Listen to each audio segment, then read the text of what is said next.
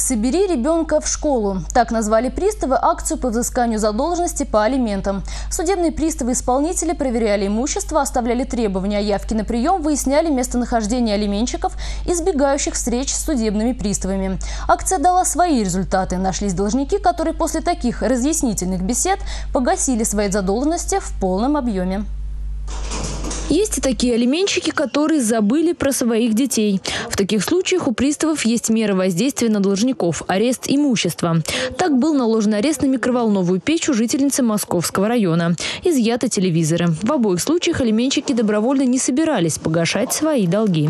Один из должников, впрочем, мог добровольно помогать своим детям, но не собирался этого делать и накопил долг в 70 тысяч рублей. Мужчина игнорировал требования судебного пристава-исполнителя погасить задолженность, в связи с чем сотрудник сотрудник управления наложил арест на находившуюся во дворе дома машину алименщика. Если должник не погасит в ближайшее время свою сумму задолженности, транспортные средства передадут на реализацию, а вырученные за автомобиль денежные средства будут перечислены на расчетный счет матери на содержание детей.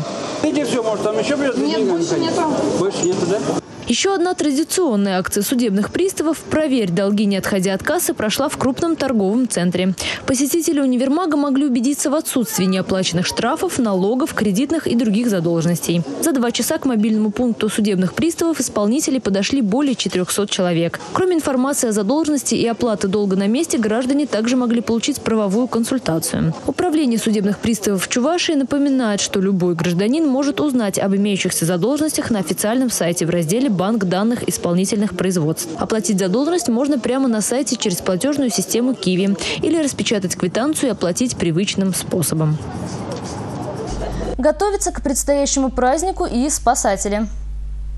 В этот день на усиленный режим службы заступят не только полицейские, но и спасатели. До проведения линеек сотрудники МЧС проверят школы и прилегающие территории, проведут с работниками детсадов, школ, училищ, техникумов и вузов инструктаж по безопасности. А в День знаний выйдут на дежурство в места массового скопления людей.